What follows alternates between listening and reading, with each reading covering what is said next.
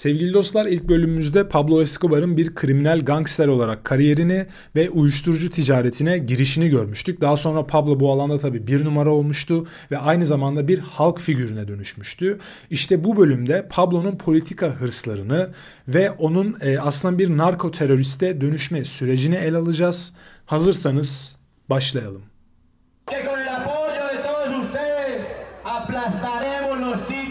Y los muñecos políticos de trapo que fabrica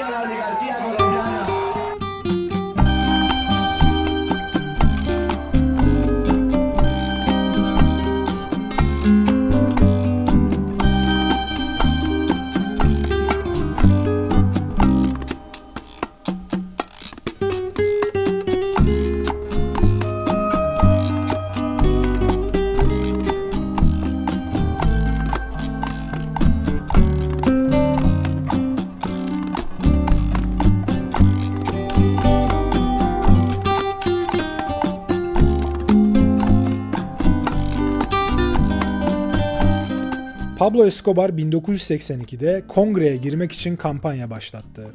Bu seçimde de yine yedek üyelik pozisyonu için yarışıyordu. Ve Kolombiya'da kanunlara göre yedek kongre üyesi tıpkı kongre üyesi gibi ayrıcalıklara sahipti ve gerçek üyenin olmadığı takdirde yani toplantıya katılamadığı takdirde kongre üyesinin yerine kongre toplantılarına katılabiliyordu.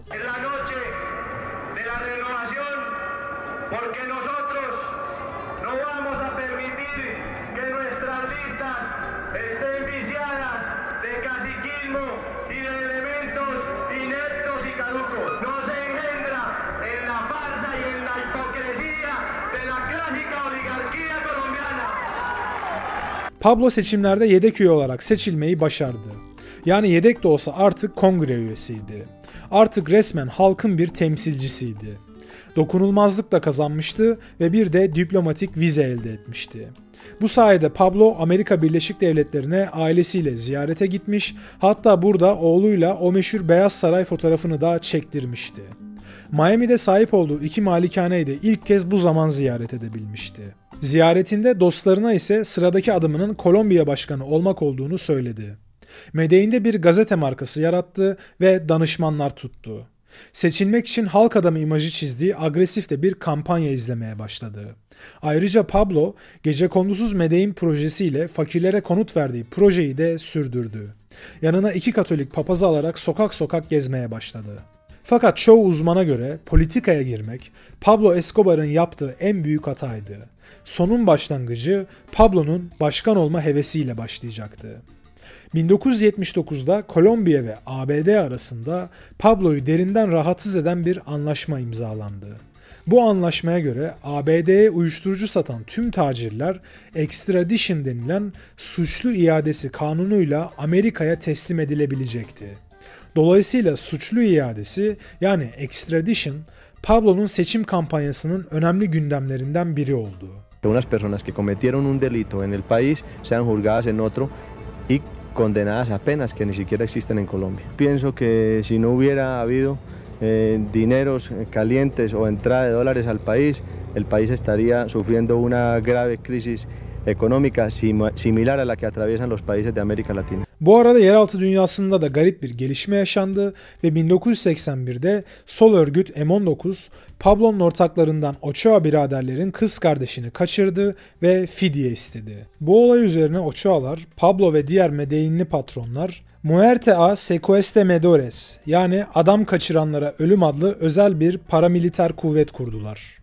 Bu kuvvet hem M19'a hem de daha büyük Marksist-Leninist komünist örgüt olan FARC'a yani Kolombiya Devrimci Silahlı Kuvvetleri örgütüne karşı savaşacaktı. Aslında bu tip özel ordular Kolombiya'nın anayasasındaki geniş nefsi müdafaa kanunlarından temel alıyordu ve auto defensas kültürü de bu sebeple Kolombiya'da oldukça yaygındı.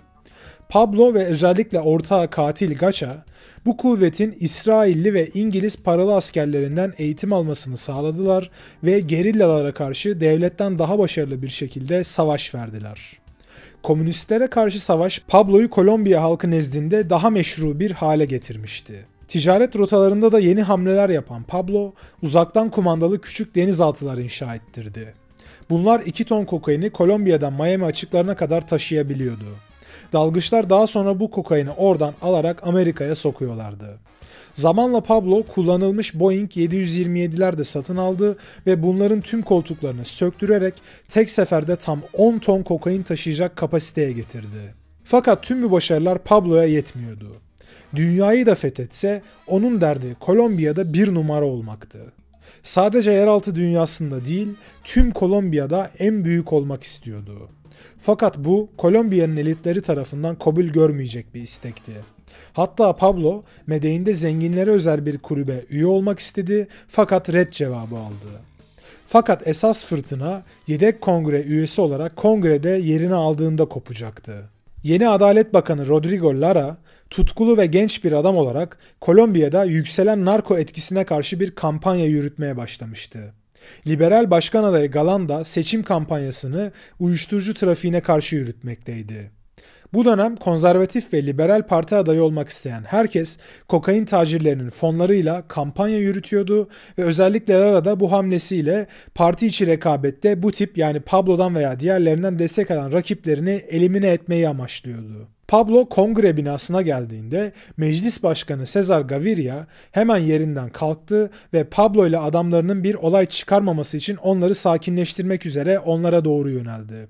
Fakat Pablo silahlı korumalarını başının bir hareketiyle dışarı gönderince ortam biraz daha yumuşadı. Bu kongre toplantısında Lara uyuşturucu parasından, cinayetlerden ve bunlarla güçlenenlerden bahsetti. Yani aslında açıkça Escobar'ı hedef alıyordu. Ve bu kongre toplantısından birkaç gün sonra gazeteler Pablo Escobar'ın 1976'daki uyuşturucu tutuklaması sırasında çekilen o meşhur sabıka fotoğrafını çarşaf çarşaf yayınladı. Pablo ile beraber kuzeni Gustavo'yu da ifşa ettiler. Bu noktadan sonra Pablo'nun senelerdir inşa ettiği masum adalet adamı imajı da yerle bir olmuştu. Hatta Medellin'de adamları apar topar bu gazetelerin tamamını satın almaya başladılar. Fakat iş işten geçmişti. Pablo'yu tutukladıktan bir yıl sonra öldürülen iki polis için de yeniden soruşturma başlatıldı. Soruşturmayı başlatan hakim çok geçmeden arabasında öldürüldü. Hemen ardından bir TV kanalı belgeselinde Pablo'yu Kolombiya'nın bir numaralı uyuşturucu taciri olarak gösterdi. Pablo ise bir röportajda servetini inşaata borçlu olduğunu söyleyerek tüm iddiaları reddediyordu. Fakat Pablo her ne kadar savuşturmaya çalışsa da ona olan güven her geçen gün azalıyordu. Birkaç ay içinde Galan Pablo yeni liberal partiden attı. Kongre dokunulmazlığını kaldırmaya karar verdi. ABD ise diplomatik vizesini iptal etti ve Kolombiya kardinali Pablo'nun fakirlere yönelik sosyal programlarına verdiği desteği geri çekti. Bu arada Adalet Bakanı Lara, Medellin kartelinin babalarından Carlos Lehter'i tutuklama ve ABD'ye iade etme kararı aldı. Pablo verdiği mitinglerde Bakan Lara'ya ve tüm hükümete sayıp sallasa da artık köşeye sıkışmıştı ve 1984'te politikayı bırakma kararı aldı. Pablo Bakan Lara'nın motivasyonunu anlayamamıştı. Ona göre kimse prensiple hareket edemezdi.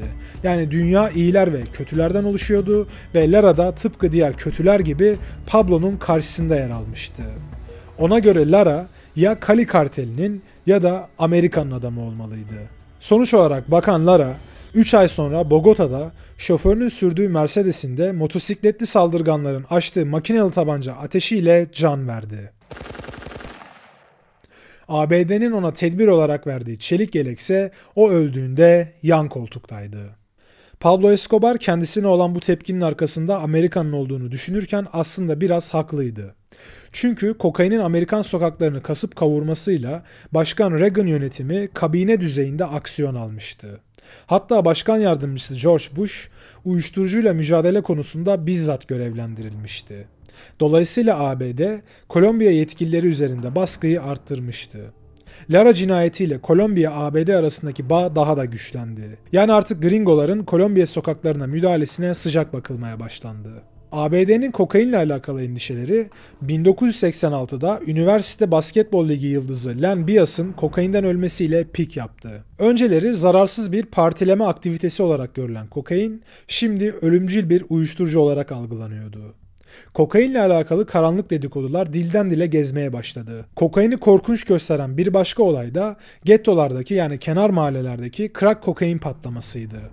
Basitçe anlatırsak crack, kokainin esrar gibi içilebilen daha hızlı kafa yapan ve mekanizması sebebiyle daha hızlı bağımlılık yapan bir türüydü. Başka maddelerle de karıştırılan crack'in maliyeti de daha ucuzdu ve bu sebeple gettolarda da hızla yayıldı. Bağımlılık riski yüksek olan crack, kısa zamanda kokainin parti malzemesi algısının yıkılmasında büyük rol oynadı. Dolayısıyla Amerikan halkı nezdinde Kolombiya kokain kartelleri artık resmen millet ve devlet düşmanı konumuna gelmişti. Amerika'yı Pablo'ya karşı aksiyon almaya iten bir başka durumda Pablo ve komünist gerillalar arasındaki işbirliğiydi. Gerillalar kartellerle savaşmak yerine ormanlık alandaki koka tarlalarını ve imalathaneleri para karşılığında korumanın daha karlı olduğunu gördüler. Bu soğuk savaş döneminin ABD'si için kabul edilemeyecek bir durumdu. Pablo komünistlerle iş tuttuğu anda ABD için müdahale kararı meşru hale gelmişti. Lara'nın izniyle PNC polis güçleri Güney ormanlarında büyük laboratuvarlara baskın yaptılar. Burada tam 14 ton kokain ele geçirildi ve 14'ten fazla laboratuvarda yok edildi. Bu uyuşturucuyla mücadele tarihinde o güne kadar ele geçen en büyük miktardı. Bu haftalarda birçok uçak ve 1 milyar dolar değerinde kokain de ele geçirilmişti. Medellin karteli için kabus gibi bir dönem yaşanırken, demin de söylediğimiz gibi Adalet Bakanı Lara öldürüldü ve bu cinayet bardağı taşıran son damla oldu. Bu resmen devlete karşı savaş açmaktı. Başkan Bentancur, narko baronlarının mallarına el konulmasının önünü açtı. Lara'nın hesabı sorulacaktı. Amerikan konsolosluğunu da tehdit eden Pablo, Lara cinayetinden birkaç gün sonra Medellin'i bir helikopterle terk edip komşu ülke Panama'ya uçtu. Burada kartelin diğer reisleri Carlos Lehter, Gacha ve Ochoa biraderlerle bir araya geldi. Grubun yeni planı işleri Panama üzerinden yürütmekti. Panamalı komutan Manuel Noriega, Medellin karteline başta kucak açmıştı. İleride Panama'nın diktatörü de olacak Noriega, 4 milyon dolar karşılığı Pablo ve dostlarını Panama'da saklamayı kabul etmişti. Pablo ve ekibi burada bir süre kaldılar ve General Noriega'ya tam 2 milyon dolar ön ödeme yaptılar. Panama'da Pablo ve Jorge Ochoa eski Kolombiya Başkanı Alfonso Lopez'le de bir görüşme yaptı. Pablo Lara cinayetini kendi işlettiğini kabul etmiyordu ve Kolombiya hükümetine tüm baronlar adına bir teklifte bulunuyordu. Kolombiya'daki tüm kokain tesislerini hükümete teslim etmek ve çiftçileri koka dışı tarıma teşvik etmek için hükümete destek vermek.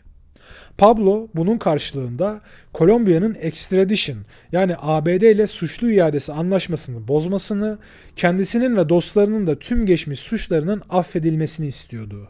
Kolombiyalı muhafazakarlar ve Amerikan konsolosluğu eski başkan Lopez'i ve şimdiki başkan Bentancur'u Pablo ile pazarlık yaptıkları için eleştirdi. Sonuçta diyalog bir neticeye varmadı. Pablo'nun kendini Che Guevara veya Fidel Castro gibi bir devrimci olarak satma çalışmaları başarısızlıkla sonuçlanmıştı. Mücadelesini ulvi bir dava gibi göstermeye çalışsa da günün sonunda Pablo tek derdi kendi gücü ve refahı olan bir adamdı. Eylemlerinin arkasında politik bir ideoloji yoktu. Çaresiz kalan Pablo bu noktadan sonra Medellin'deki konumunu geri kazanmak için sonu olmayan bir mücadeleye girişecekti. Bu arada Panamalı General Noriega Pablo ve dostlarını sattı. Panama askeri güçleri kartelin Panama sınırı yakınlarındaki büyük bir laboratuvarına baskın yaptılar ve bu haber üzerine Pablo ile dostları apar topar Panama'yı terk ettiler. General Noriega ileride Panama'da gücü ele geçirecekti fakat 1989'da bir Amerikan müdahalesiyle diktatörlüğü kaybedecekti. O da tıpkı Pablo gibi kokain işinde büyük bir oyuncu olmaya çalışmıştı. Pablo'nun Nikaragua'da bir kokain yüklemesi sırasında çekilen pozu da ayrıca başına bela olacaktı. Kartelin pilotlarından biri olarak çalışan Barry Seal, eski bir yolcu uçağı pilotudur ve aynı zamanda bir DIA muhbiridir. Amerikalı Seal, uçağına yerleştirdiği kameralarla Pablo'nun fotoğraflarını çekmiştir ve bu fotoğraflar Washington'da da büyük yankı uyandırmıştır. Çünkü Pablo burada Marksist-Leninist Sandinista rejimine kokain satmaktadır. Soğuk savaş ortamında Amerika, Pablo'nun komünistlerle bu tarz bir işbirliğine girmesini tehdit olarak görmektedir. Çünkü Amerika burada kontra denilen antikomünist isyancıları desteklemektedir. Barry Seal ise bu sürecin sonunda tanık koruma programına girmeyi reddeder ve fotoğraf çekildikten 2 yıl sonra öldürülür. Bu arada Tom Cruise'un Seal'ı canlandırdığı American Made filmini şiddetle tavsiye ederim. Pablo ve Jorge Ochoa hakkında da Miami'de bir inceleme başlatılır. 750 kiloluk bir kokain yüklemesinden sorumlu tutulurlar. Pablo cevap vermekte gecikmez. Kolombiya'daki Amerikan elçisinin evinin önünde bir bombalı araç patlar. Elçi bir daha Kolombiya'ya adım atmayacaktır. Bu noktadan sonra Bogota'da Amerikan elçiliğinde çalışmak epey cesaret gerektiren bir iş haline gelecektir. Bu arada ilginç bir olay da yaşanır ve fidyeciler Escobar'ın 73 yaşındaki babası Abel'i kaçırırlar. Ve Sicario'lar yani kartel tetikçileri şehrin altın üstünü getirip onlarca kişiyi öldürünce Abel'i hemen salı verirler. Evine yani Kolombiya'ya dönen Escobar ise bu noktadan sonra ölene dek burada kalacaktır. Ve ömrünün bu evresinden sonra devletle daima çatışma halinde olacaktır. Çünkü Pablo'nun en büyük korkusu suçlu iadesidir. Hatta bu meseleyle alakalı Kolombiya'da bir mezar, Amerika'da bir hücreden iyidir demiştir. Tüm olumsuzluklara karşın Pablo Medellin'de hala dokunulmazdı. Aranan bir suçlu olarak rahatça geziyor, boğa güreşlerine katılıyor, gece hayatına karışıyordu.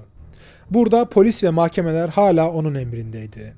Pablo bu aralar yine hükümetle anlaşmak istedi ve teslim olması halinde ABD'ye iade edilmeyeceğinin garantisini almak istedi. Fakat yine reddedilmişti.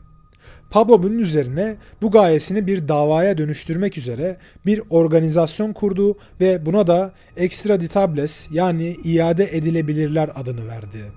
Bu grup suçlu iadesi kanunu değişene kadar mücadele edeceğine yemin etmişti ve Pablo gibi tacirlerden oluşuyordu. Pablo grubun sözcüsü olarak sürekli mektuplar ve manifestolar yazmaya başladı. Grup Jorge Luis Ochoa'nın İspanya'da yakalanmasıyla Kolombiya hükümetine bir ultimatom verdi. Ochoa iade edilirse devlete karşı topyekün savaş ilan edilebileceğini açıkladı ve böylece Ochoa salı verildi. Bu arada Ochoa İspanya'da Cali karteli liderlerinden Hilberto Rodriguez'le de bir araya gelmişti ve Hilberto da onun gibi önce tutuklanıp sonra salı verilmişti. Bakan Lara'nın öldürülmesinden sonra 30'dan fazla hakim daha infaz edilmişti. Yani Plato Plomo tüm Kolombiya'yı esir almıştı. Yetkili herkes ya Medellin kartelinin gazabına uğrayacaktı ya da onların dal kavuğu haline gelecekti. Başka bir seçenek mümkün değildi. Pablo Escobar'ın hükümete karşı en büyük hamlelerinden biri Kasım 1985'te gerçekleşti. Suçlu iadesi kanunu taraftarı 4 hakim infaz edildikten sonra komünist şehir tipi örgüt M19 Bogota'da Adalet Sarayı'nı bastı. Baskının amacı suçlu iadesi anlaşmasını geri çektirmekti. Teröristler Kolombiya Yüksek Mahkeme hakimleri de dahil onlarca hakimi ve adalet çalışanını esir aldı. Hem dışarıdan 3 arabayla hem de binaya sivil olarak önceden giren toplam 40'tan fazla M19 üyesi buradaki güvenlik güçlerini öldürüp binayı tam 2 gün esir aldı. Daha sonra ordunun müdahalesiyle 30'dan fazla terörist öldürülürken gerçekleşen müdahale sırasında Escobar'ınki de dahil 6000'den fazla suç dosyası patlayıcılar ve ateşin arasında yok olmuştu. Söylentilere göre bu baskın için Pablo ve ortakları M19'a tam 1 milyon dolarda ödeme yapmıştı. Sonuç olarak Kolombiya Yüksek Yargısı suçlu iadesini teknik yetersizliklerden ötürü geçersiz kılmak zorunda kaldı. Bu karar devlet başkanı temsilcisi tarafından da onandı. Pablo hemen sonra komünist dostlarına da ihanet etti ve Amerikan yetkililerine Marksist-Leninist FARC, M19 ve ELN örgütleriyle alakalı bilgi vermeyi teklif etti. Karşılığında ise uyuşturucu suçlarının affını istiyordu. Bu arada 4 Şubat 1987'de Carlos Lehter düzenleyeceği bir parti sırasında polis tarafından yakalandı. Kartelin en renkli karakterlerinden olan Lehter, suçlu iadesiyle ABD'ye transfer edildi ve burada 135 yıllık cezasını yatmaya başladı. Yaygın kanıya göre onu ihbar eden Pablo Escobar'dı. Bazı kaynaklar Pablo'nun bunu Amerikalılarla anlaşmak için yaptığını söylerken Escobar'ın tetikçilerinden Popeye yani temel reis lakaplı John Jairo Velazquez'e göre Lehter ormanda saklandığı dönemde radikalleşmiştir ve bu sebeple kartel üyeleri ondan kurtulmak istemiştir. Yine de ABD Escobar'la bir anlaşma yapmaya yanaşmaz. Reagan yönetimi uyuşturucu konusunda son derece ciddidir. Bu ciddiyetle Reagan 221 nolu direktifi imzalar uyuşturucu ticaretini resmen milli bir tehdit olarak tanımlar. Bu noktadan sonra Amerikan Silahlı Kuvvetleri Orta ve Güney Amerika'daki uyuşturucu laboratuvarlarına, tarlalara ve tacirlere doğrudan silahlı müdahalede bulunabilecektir. Amerikan ordusu Bolivya'da 15 kokain laboratuvarına baskın düzenler. Kolombiya'da ise Sicario'lar hakim ve polis cinayetlerini sürdürürler. Hatta eski Adalet Bakanı Macaristan'da elçilik yaparken Budapeşte de suratından vurulur fakat canlı kurtulur. Eski başkanın oğlu Bogota Belediye Başkan adayı ve bir başsavcı bu dönemde infaz edilir. 1987'nin sonlarına doğru Başkan Barco sıkı yönetimi ilan eder. Bu arada Medellin ve Cali kartelleri arasındaki barış da yerini çatışmaya bırakmaya başlar. Önce Jorge Ochoa'nın Cali karteli kurmaylarından birinin kız arkadaşıyla Cali bölgesinde yakalanması ve hapse atılması Pablo ve ortaklarının Cali kartelinden şüphe duymasına sebep olur. Yani aslında Jorge'yi ihbar edenin Cali olduğunu düşünürler. Akabinde Escobar tüm kartel patronlarının olduğu bir toplantıda kokain ticaretini tek bir yapı olarak idare etmeyi ve bu yapının reisinin de kendisi olmasını teklif eder. Ayrıca bu rolü sebebiyle tüm satışlardan gelen karın %30'unu da almak ister. İşte bu teklifi özellikle Kali patronları tarafından şiddetle reddedilir. Taraflar masadan öfkeyle kalkar. Fakat Kali karteliyle alakalı detaylar başka bir videomuzun konusu olacak.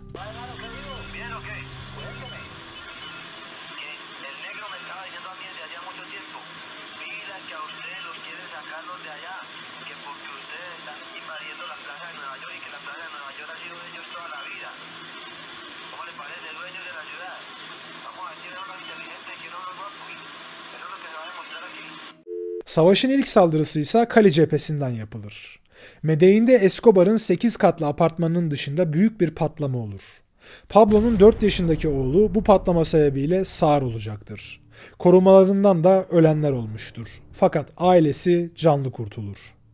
Bu arada polis patlama yerine geldiğinde binada Van Gogh ve Salvatore Dali'ye ait orijinal resimler bulacaktır.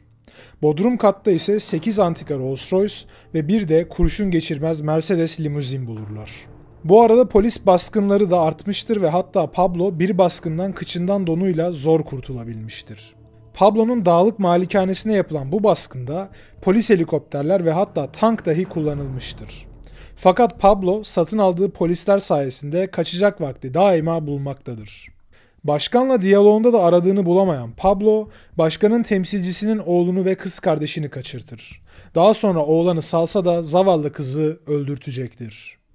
Bombalar patlamaya, saldırılar yapılmaya devam eder.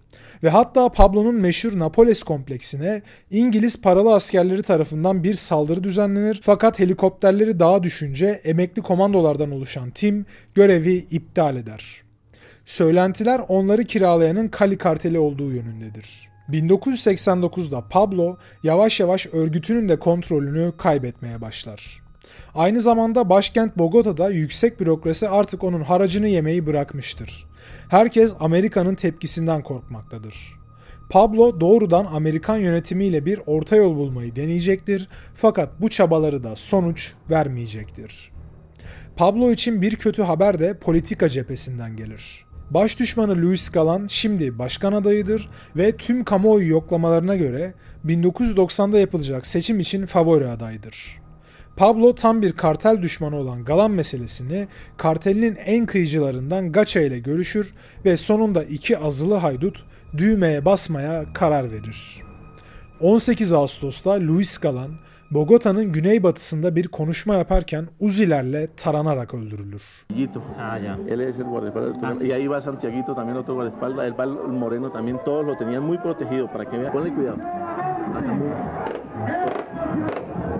Fueron los disparos.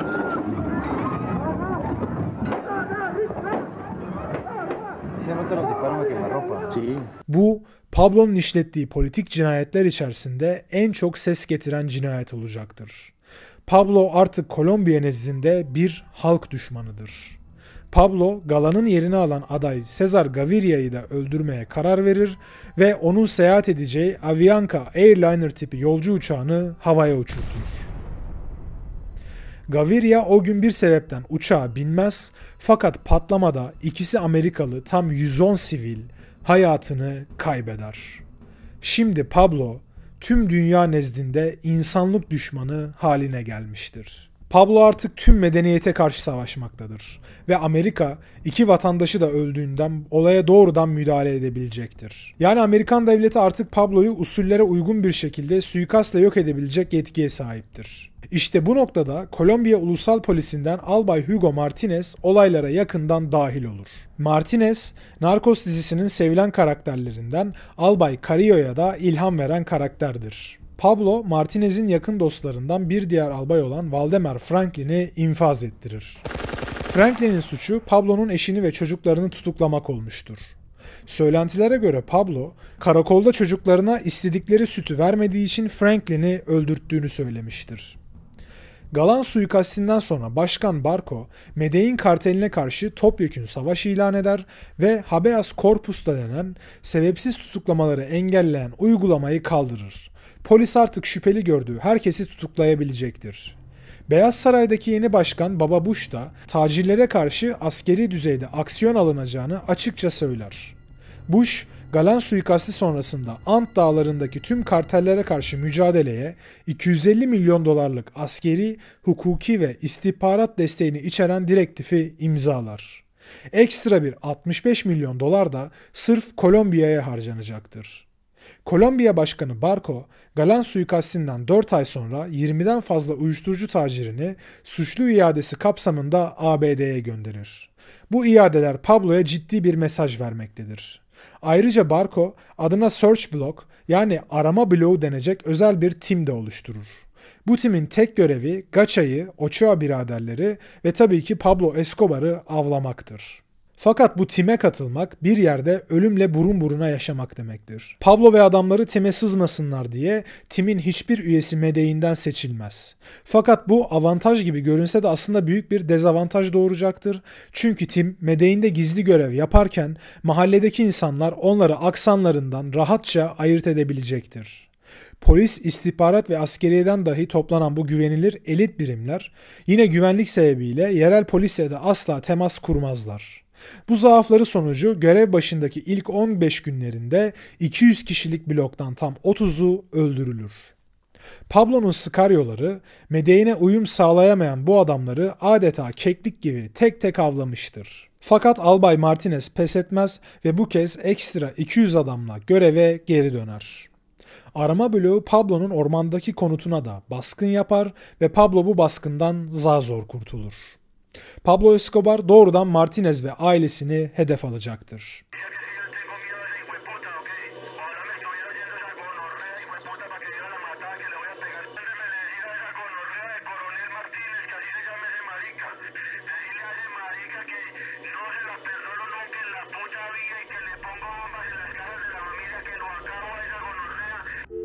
Bombalı bir araç albayın binasının bodrum katında bulunur.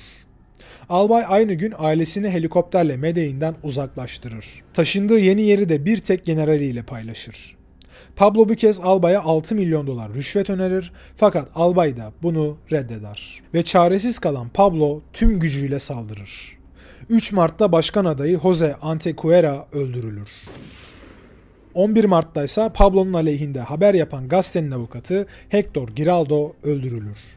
3 Nisan'da bir polis albayın aracında 400 kilo kokain yakalanır. 21 Nisan'da ise ünlü bir radyocu olan Luis Vera öldürülür. 4 Mayıs'ta Pablo ve Gacha'yı suçlayan bir hakimin babası öldürülür.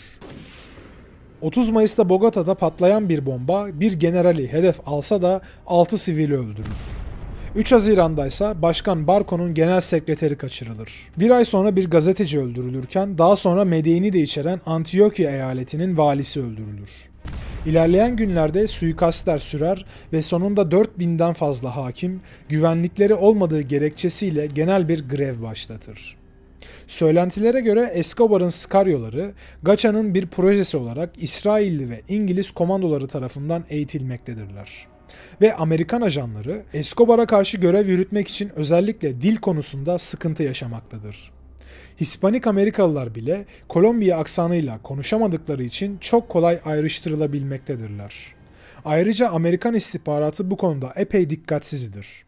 Örneğin sarışın, iri yarı, agresif bir DIA ajanı olan Steve Murphy, West Virginia doğumlu beyaz bir Amerikalı olarak tek kelime İspanyolca bilmeden Kolombiya'ya gönderilmiştir. Ajan Murphy, Narcos dizisinin de ana karakteridir. 1989'da Amerikan konsolosluğu henüz hala Medellin kartelinin yapısını çözememişti. Yani Pablo büyük başlardan biri sayılırken yegane patron olarak tanımlanmamıştı. Hatta Amerikalılara gelen istihbarata göre kartelin esas lideri El Mexicano lakaplı Gacha'ydı. Hatta Galan'ı infaz ettirenin de Gacha olduğu düşünülüyordu ve böylece Gacha'nın üzerine gitmeye başladılar.